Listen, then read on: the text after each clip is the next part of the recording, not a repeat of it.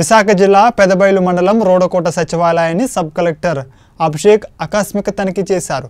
రాష్ట్ర ప్రభుత్వం అందిస్తున్న సంక్షేమ పథకాలు ప్రజలకు ఏ విధంగా అందుతున్నాయో సచివాలయ సిబ్బంది పనితీరుపై ఆరా తీశారు. అనంతరం రికార్డును పరిశీలించి సచివాలయ సిబ్బంది పనితీరుపై హర్షం వ్యక్తం చేశారు.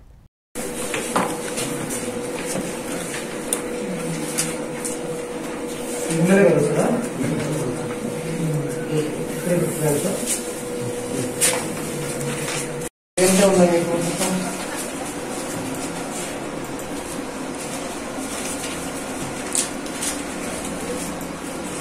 ఈ లిస్ట్ ఉందా మీ దగ్గర? వచ్చిన గ్రీవెన్స్ లిస్ట్ ఉందా? మొత్తం ఎన్ని గ్రీవెన్స్ వచ్చాయని?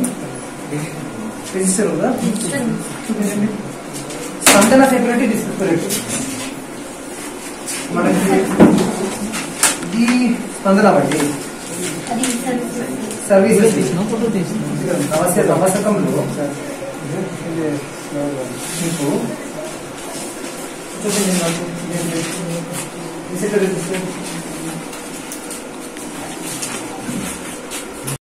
ప్రతి ఒక్క ఐఏఎస్ ఆఫీసర్ నాలుగు సచివాలయాలు ఇన్స్పెక్ట్ చేయాలి. దానికని ప్రత్యేక యాప్ ఉంది. ఆ యాప్లో ఇన్స్పెక్ట్ చేసి ఆ యాప్లో వాళ్ళకి ఏం కావాలి ఎలా ఉంది ఈ సచివాలయం అని మనం డేటా ఎంటర్ చేయాలి. దానికోసం ఈరోజు ఇక్కడ నేను వచ్చాను. ఈ సచివాలయం బాగుంది. వాళ్ళకున్న సమస్యలు వాళ్ళు మీ సర్పంచ్ గారు చెప్పారు అవి అన్నీ కూడా నేను నోట్ చేస్తాను పీఓ గారి దృష్టికి తీసుకెళ్ళిపోతాను. థ్యాంక్ యూ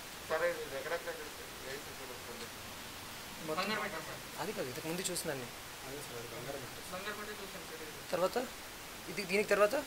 ఇది రోజు మొత్తం నాలుగు సచివాలయాలు చూడాలి. ఇప్పటి వరకు రెండు అయింది నాకు ఇప్పుడు మీటింగ్ ఉంది. తర్వాత ఇంకొక రెండు చూసి వెళ్ళిపోతాను. అది చెప్పారండి. మీకు ఏ సమస్య సెల్ టవరు మీ బ్యాంకు సమస్యలు మీ పర్మనెంట్ వీఆర్ఓ సమస్యలు అన్నీ మీ సర్పంచ్ గారు చెప్పారు. నేను నోట్ చేశాను. పీఓ గారి దృష్టికి తీసుకెళ్ళిపోతాను.